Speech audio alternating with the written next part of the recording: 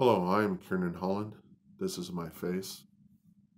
I believe that if we're easier to, if people are easier to recognize, it'll identity theft would cease to exist.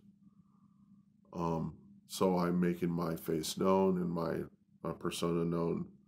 This is what I look like. This is how I interact with this camera. Now, people can think of very many scams on which probably steal my identity now. But keep in mind that this is now a hurdle um, for you.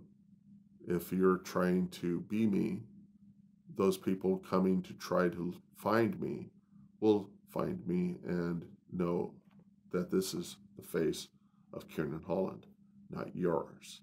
Okay. And since I've got a unique name and a unique combination of names, it's really going to be really hard for me to hide my identity.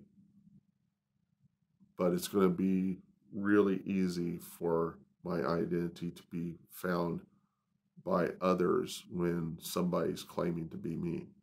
It is my belief from having uh, dealt with a technology called um, PIDS, um, which is a uh, which is the purpose of it is to try to um, correlate healthcare records using uh, personal identification, more IDs, more relationship of IDs than um, than using just a single numeric ID for uh, our healthcare record.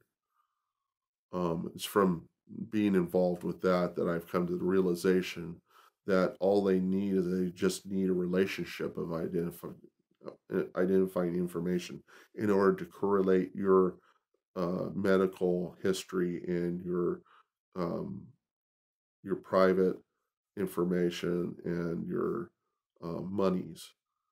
And but the more people know of how to find you the more of a hurdle you are to the thieves. And on the flip side of this, the more that your face is recognized, the easier it is for you to receive health care. The easier it is going to be for you to establish commercial relationships. Um, the easier it is for people to know it's better to be known more than it is better to be unknown. The more unknown you are, the easier it is for your ID to be stolen. So, um, this is what I look like. And if you're trying to steal my identity, this is what you have to overcome.